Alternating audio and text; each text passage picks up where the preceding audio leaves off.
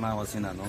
ನೂರ ಇಪ್ಪತ್ತೆರಡು ಮಳಿಗೆ ನಂಬರು. ಈ ಪ್ರಕ್ರೂಮೆಂಟ್ ಪ್ರಕಾರ ನಾನು ಹೋಗಿದ್ದೆ ಅದು ಮುನ್ಸಿಪಾಲ್ಟಿಯಿಂದ. ಅದಕ್ಕೆ ಬಾಡಿಗೆ ಎಪ್ಪತ್ತೆರಡು ಸಾವಿರ ಪ್ಲಸ್ ಟ್ಯಾಕ್ಸ್ ಹದಿನೆಂಟು ಪರ್ಸೆಂಟ್ ಜಿ ಎಸ್ ಟಿ ಸೇರಿಸಿ ಎಂಬತ್ತೈದು ಸಾವಿರ ರೂಪಾಯಿ ಬಾಡಿಗೆ ಕಟ್ತಾ ಇದ್ದೀವಿ ನಾವು. ಎಂಬತ್ತೈದು ಸಾವಿರ ಬಾಡಿಗೆ ಕೊಟ್ಟು ಇಲ್ಲೇನು ಕ್ಲೀನಿಂಗ್ ಅದು ಇದು ಏನು ಮಾಡಿಸ್ಕೊಟ್ಟಿಲ್ಲ ಮುನ್ಸಿಪಾಲ್ಟಿಯವರು ಒಂದಲ್ಲ ಎರಡಲ್ಲ ಹತ್ತು ಅರ್ಜಿಗಳು ಕೊಟ್ಟಿದ್ದೀವಿ. ಮನವಿ ಮಾಡಿದ್ದೀವಿ. ಒಂದರಿಂದ ಹತ್ತು ಸಲ ಹೋಗಿದ್ದೀವಿ. ಅವ್ರು ಯಾವುದೇ ಕ್ರಮನೂ ತಗೋತಾ ಇಲ್ಲ ನಮ್ಮ ಬಗ್ಗೆ. ಎಂ ಎಲ್ ಎಗೂ ವಿಚಾರಕ್ಕೂ ಹಾಕಿದ್ದೀವಿ.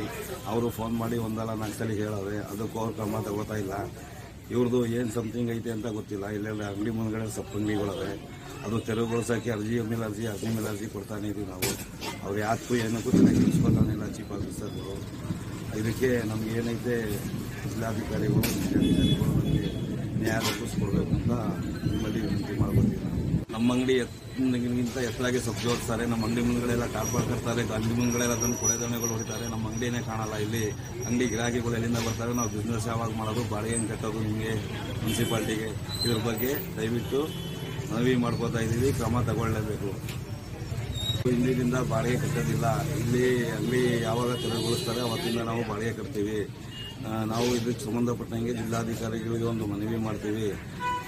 ಆಮೇಲೆ ಬಾಡಿಗೆ ಮುಂದಿನ ಈ ತಿಂಗಳಿನಿಂದ ನಾವು ಬಾಡಿಗೆ ಕಟ್ಟೋದಿಲ್ಲ. ನಮಗೆ ಯಾವಾಗ ತೆರವುಗೊಳಿಸ್ತಿದ್ರೆ ಅವಾಗಲೇ ನಾವು ಬಾಡಿಗೆ ಕಟ್ಕೊಂಡು ಹೋಗ್ತೀವಿ ನಾವು ತಿಂಗಳಿಗೆ ಎಂಬತ್ತೈದು ಸಾವಿರ ಬಾಡಿಗೆ ಕೊಡ್ತೀವಿ. ನಮಗೇನು ರಕ್ಷಣೆ ಇಲ್ಲ. ಇವರು ಫ್ರೀಯಾಗಿ ಕೂತ್ಕೊಂಡು ಇಲ್ಲಿ ವ್ಯಾಪಾರ ಮಾಡ್ತಾರೆ. ಇವರು, ಇವ್ರಿಗೆ ಸಪೋರ್ಟು ಜನ ಜಾಸ್ತಿ ಇಲ್ಲಿ. ನಮಗೇನು ಸಪೋರ್ಟ್ ಇಲ್ಲ ಜನ. ನಾವು ಮುನ್ಸಿಪಾಲ್ಟಿಗೆ ಹೋಗಿ ಕೇಳಿದ್ರೆ ನಮಗೆ ಹೋಗಿ ಬರ್ತೀವಿ, ನೋಡ್ತೀವಿ, ಮಾಡ್ತೀವಿ, ಹಂಗೆ ಮಾಡ್ತೀವಿ, ಹಿಂಗೆ ಮಾಡ್ತೀವಿ ಅಂತ ಒಂದು ವರ್ಷದಿಂದನೂ ಹೇಳ್ತಾನೆ ಒಂದು ವರ್ಷದಿಂದನೂ ನಮ್ಮ ಸಮಸ್ಯೆಗಳು ಬಗೆಹರಿಸ್ಕೊಟ್ಟಿಲ್ಲ ಇವರು.